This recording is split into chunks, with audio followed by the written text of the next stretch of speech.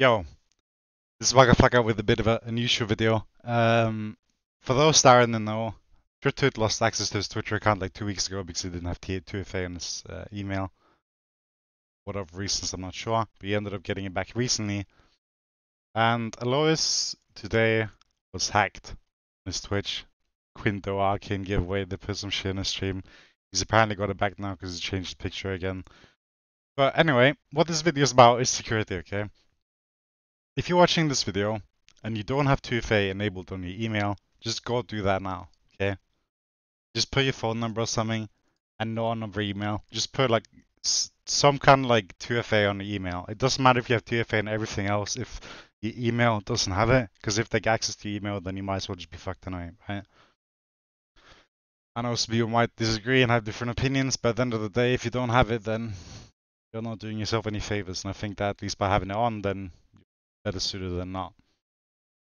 And the second thing you should do, I suppose, I think as a content creator, you should have some more responsibility. Like there was 20k people, some bots in the slow stream, and they were like spamming this link that you should click on, which obviously wasn't a very good link to click on.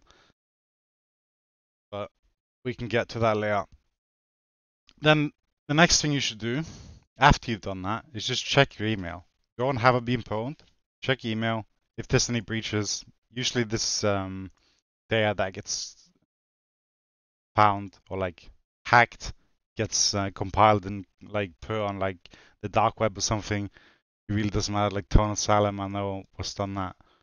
So like they take every like password, login, email, everything like that, and it's like publicly available. It's like if you were to like find an email, go on look on the dark web, you'll find the password and everything to their account. It really depends. Some get sold privately, some gets like just listed on dark web. It doesn't matter.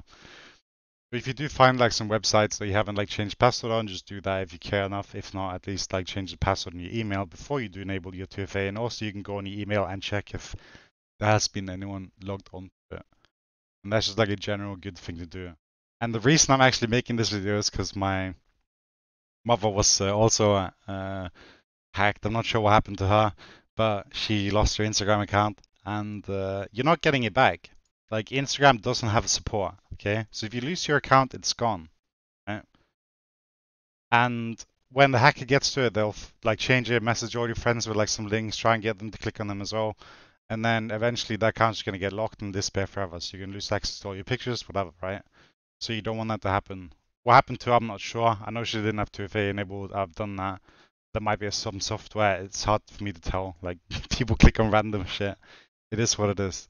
But at least if you have 2FA enabled, you're like more secure than if you don't. If you, if you do find like some sketchy websites here, or like maybe you have a website like Town of Salem was like same password as your email, then obviously that's an easy thing to do. And if someone does take enough time, they are going to be able to link all this up.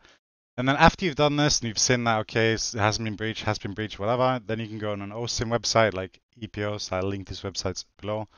And then you'll put in the email here, right?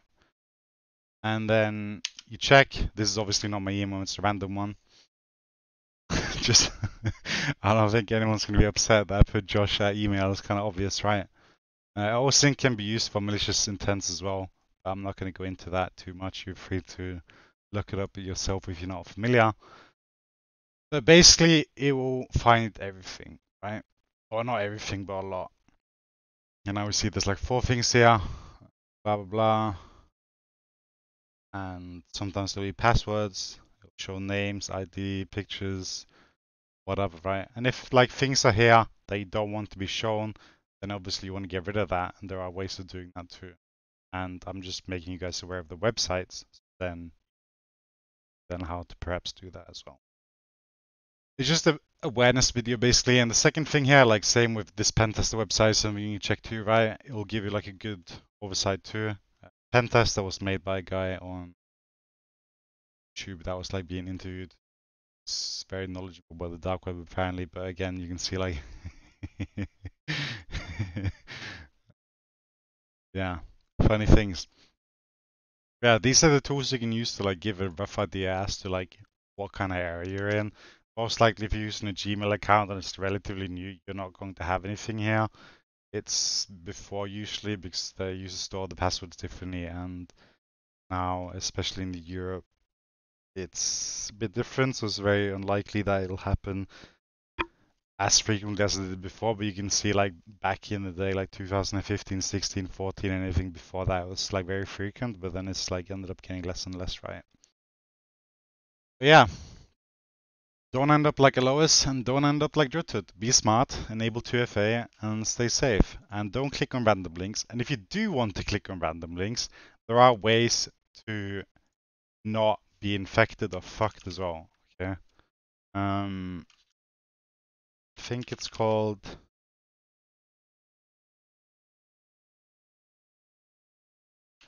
I'll, I can link it below. But basically, there are there's a browser with like virtual PCs where you can look, and you can also like preview websites. Google.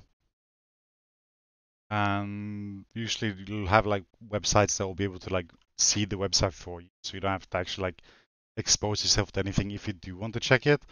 And also another thing you can do is um,